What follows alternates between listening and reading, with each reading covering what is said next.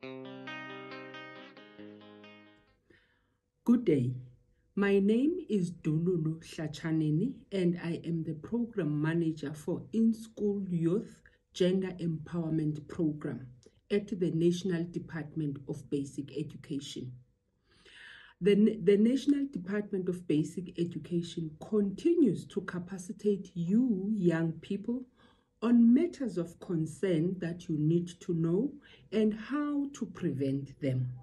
Today, we'll speak briefly about bullying, types of bullying, and its effect.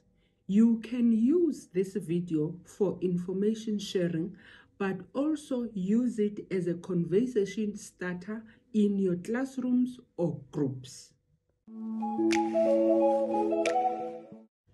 According to UNICEF, bullying is any form of forceful behavior that occurs in an intentional and repeated manner, causing another child to feel hurt. It can take multiple forms, such as spreading rumors, threatening, physical or verbal assault, excluding someone from a group to hurt him or her.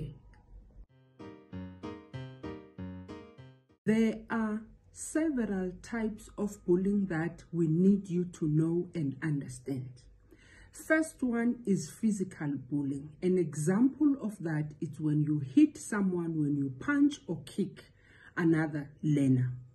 Verbal bullying, it includes name calling, spreading lies about someone, mocking that person, labeling them, and saying things about their physical appearance that are not true. Social bullying, it includes ignoring or leaving someone out intentionally or excluding them from a group.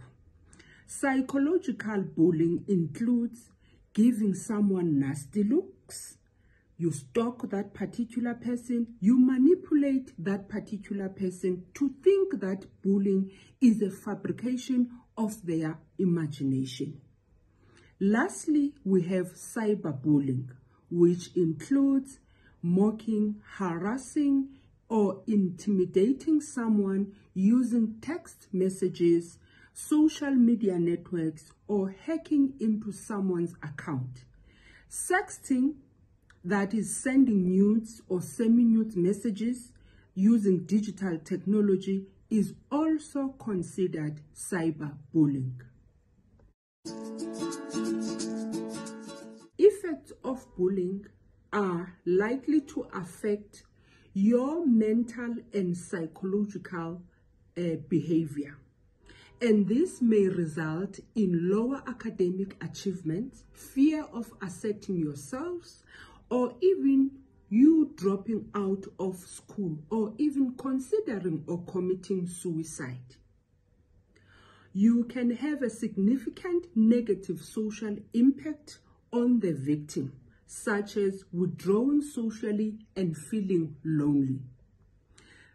Bullying affects your self-esteem and uh, your self-confidence as a victim. It can make you to lose your interest in your schoolwork and make you to lose interest in the things that you usually used to like and perform on. And you cannot even answer questions in the classroom. You may also seek acceptance from wrong friends in the wrong places. That is talking about drug uses and even joining gangs. You may also have panic attacks and you get to be anxious and depressed and being very sad. And that may result you in you thinking about committing suicide. Lastly, victims may avoid certain areas of the school or neighborhood because they want to be absent at school. What to do when bullied or when you see someone being bullied. Number one, never fight back. Rather, walk away from a bullying incident and go and find help. or telephonically call someone for help.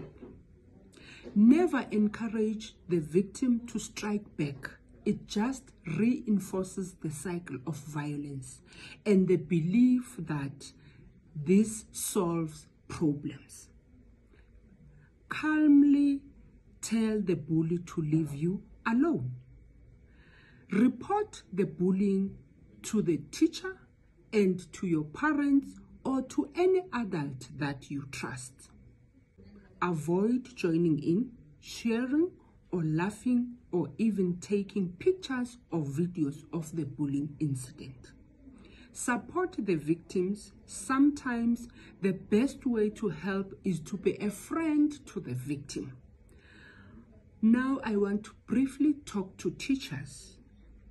Teachers, they also need to take reports of bullying from learners very seriously.